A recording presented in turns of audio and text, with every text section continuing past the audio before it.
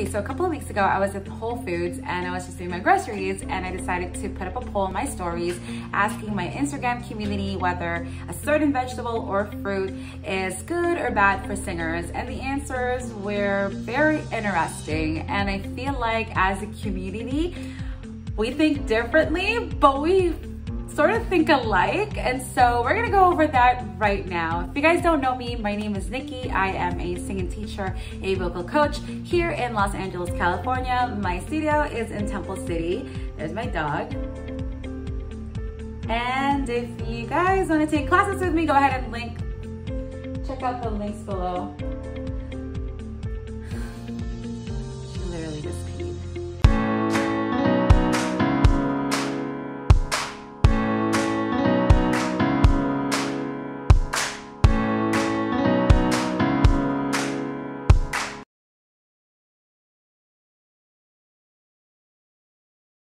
Okay, so we're gonna do this really quickly. Okay, so here is, I'll try to sum everything up or like be as fast as I can. So the first one up are apples, or apples great for you. You guys said 83% of you guys said yes, 17% said no. Apples are great for you as singers because they are very high in water content and also high in fiber. So they're great on the go before you perform. They'll keep you full for a couple of hours. I wouldn't recommend it if you guys are pretty sensitive to fiber as they'll make you bloated or they'll cause water retention. So stay away from it if you're sensitive. All right, next one are pineapples. Are pineapples good? 51% said yes. 49% no, the answer is yes. This is a singer's fruit due to the enzyme called bromelain. All right, now bromelain is a, an enzyme that can cut through uh, mucus and phlegm, and as I like to cut the pineapples and then get the stem because that's the one that you can't eat, and I like to blend it, um, add water, and blend it and drink it like juice. All right, next one up, let's see, are Bananas, 70% of you guys said yes, 30% said no. Bananas are great for on the go, just like apples, because they are pretty much like 75% water as well. So that's not bad for, for uh, bananas. And also they are uh, very high in potassium. They'll keep your energy levels high. They aid with digestion. It's my favorite fruit. I love bananas. However, I wouldn't recommend you guys to drink it maybe an hour, two or three hours before you perform. And that's because they are very much pretty, they're pretty thick fruits. And so that can be, you could, you're gonna feel a little bit of discomfort in the stomach, a little bit of discomfort in the throat. So because of that, I would say no to bananas three hours before you sing. I would say yes, like in the morning, I, before, you know, hours and like maybe six hours before you perform, why not? Um, I have a banana regardless because I just like it. And next, uh, we are talking about cucumbers. Cucumbers are great. They're basically water. They're crunchy water. They're 90% water. Go for it. Go crazy on cucumbers. My one thing, they don't really satisfy you unless you eat like five cucumbers. And so just be wary of that. Maybe have something with it, pair it with something that's not going to be overkill on the throat and the stomach.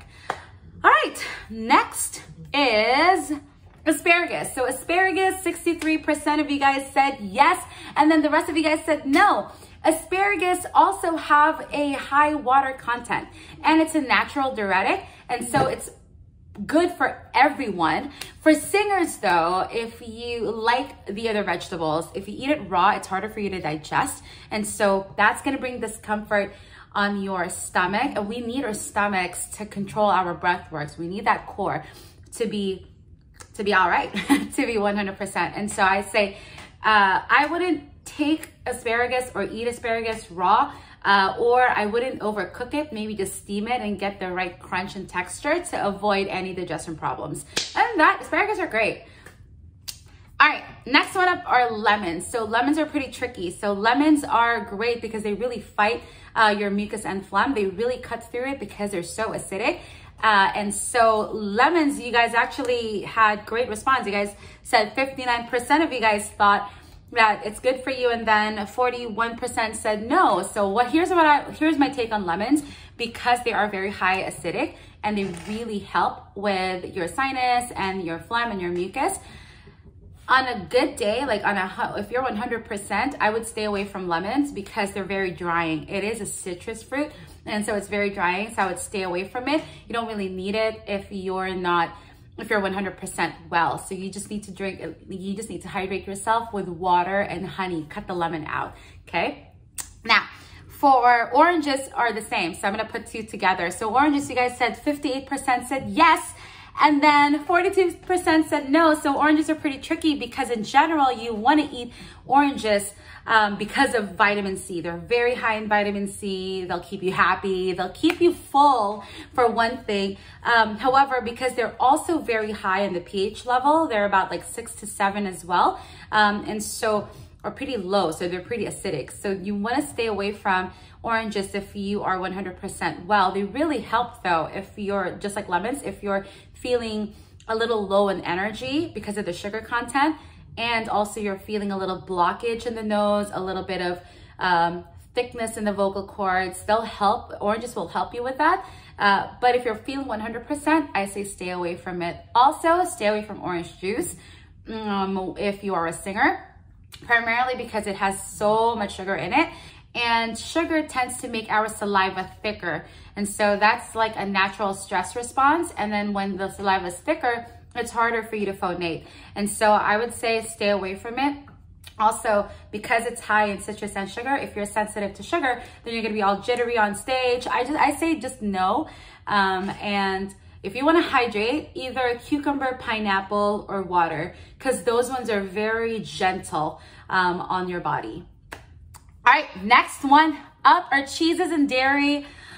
Oh, I love cheese and I love dairy. I, but I have to say 50% said yes on yogurt and 50% said no. And then for cheeses, they said 35% yes and the rest no, which is ding, ding, ding, ding, ding, ding, ding, ding, ding. And then the yogurt is kind of like, ah, there's like a gray area there, right? And let me explain why. So with cheese and dairy and animal milk, it's not that you know, they say that like the mucus, it creates mucus, dairy creates mucus, milk creates mucus and phlegm. Uh, that's entirely not the case.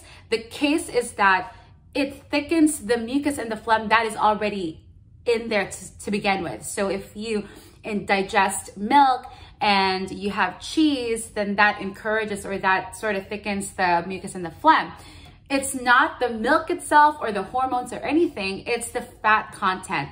And so if you are planning on like, let's say having something dairy in the morning before dairy or cheese or what have you in the morning before you your performance, I say stick to something low fat um, low fat tends to be less creamy too. It tends to be thinner, like skim milk. That's nice. Um, or almond milk is fine because it's pretty thin depending on the brand. Um, I like, gosh, not the Califia one because that's really thick. The best way to go about it is really making it homemade because then that's where you really see how thin it is. And then sometimes they just put like added what have you on there. So Next one up, and I feel like this is like appropriate to talk about, is oat milk. So is oat milk good for singers? Um, 66% of you said yes, and 34% said no. Uh, they're generally great for you. They keep you full, and they are a healthier option than other dairies out there. They're very low in fat and high in fiber. Um, so Generally speaking, they're great for you. I don't see why not, why you shouldn't take it. Uh, the only thing though is that they're pretty thick, just like other milks are. And they're thicker than most milk actually. So they're very thick and they're very slimy. Um, I know commercial oat milks don't have that property, the slimy property, but if you make them homemade, which I really hope you guys are doing, then there's that factor of just being slimy. And if you eat like actual oat oatmeal, then kind of gives the same like after product of uh, it kind of it's there's no phlegm or anything but there's just like that bit of discomfort on the throat. I would say um, maybe don't take oat milk don't have your drinks with oat milk or any dairy or any like plant milk before for your sessions or before especially before your performance. Um real thing though i don't oat milk is like my least favorite It is my least favorite non-dairy milk. It's just, there's just no life in it. Like it, it's so thick and dull and it's like, and I don't like oatmeal to begin with, and so there's a problem. So I still have mine in almond milk with everything with almond milk because I still live in like 2014. But I understand that the trend right now, the buzz right now is oat milk. So um, you guys can have your oat milk. I'll stick to my almond milk. Thanks. Oh, that was pretty chunky. Hey guys, we made it through the list. If you guys found this video helpful and you guys want more of these, comment down below. And also don't forget to subscribe because I put out videos on singing tips, my life in general, and just anything under singing and anything under food. So, till then guys, keep singing, keep eating.